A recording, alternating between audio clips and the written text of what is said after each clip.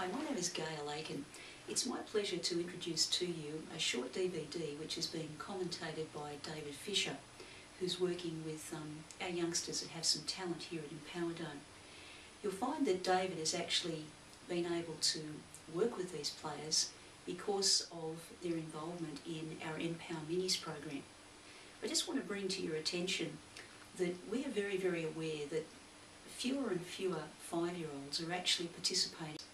The reality is that many of them are very embarrassed or just physically not able to engage in learning the skills of a particular sport because they're lacking in basic fundamental movement and perceptual motor skills.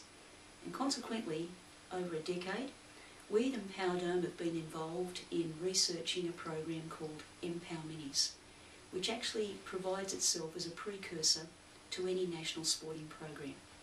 We trust that as David just talks you through what these two young players are actually doing, that you'll see the benefits also of modified formats when youngsters are learning the skills of games.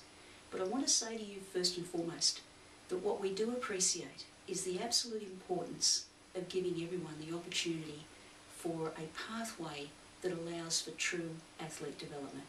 Thank you. The game Ashley and Zoe are playing is called mini tennis. They are using a foam ball, which is the mpowerdome starter ball, uh, often referred to as the red ball, and the court often referred to as the red court. This foam ball is the slowest of the modified balls that are used in mini tennis. One of the most difficult challenges faced by all tennis players is to be in position at the right time to hit the ball. The small court, the slow ball, allows these players to do this with a high degree of success. When we filmed this clip, Zoe, in the purple top, was only two weeks into changing her backhand from a double-handed backhand to a single-handed backhand.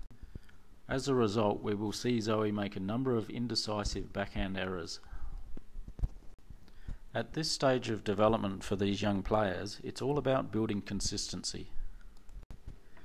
Zoe and Ashley are demonstrating good consistency with height over the net and hitting to safe targets, keeping the ball well away from the sidelines.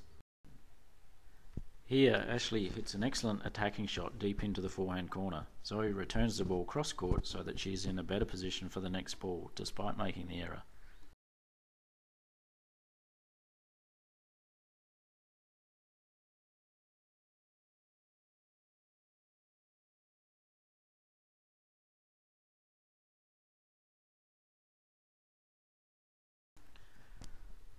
As a result of Zoe's good serve, Ashley is on the defence from Zoe's persistent yet safe attack cross court.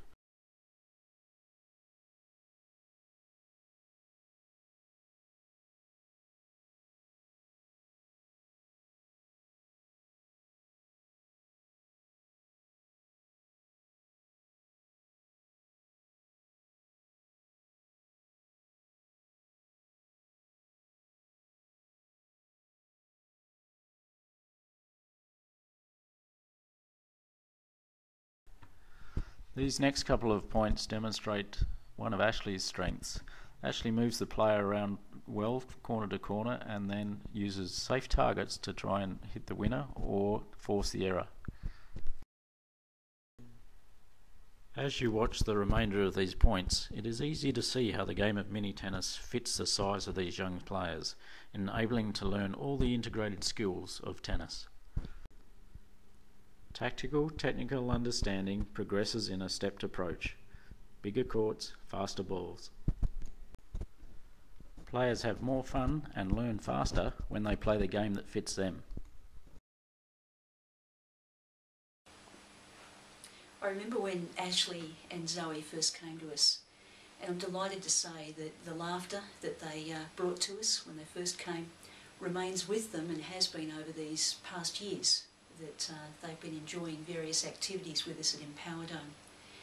I say again that what we understand is that a youngster needs many and varied experiences if they're truly going to be the true athlete.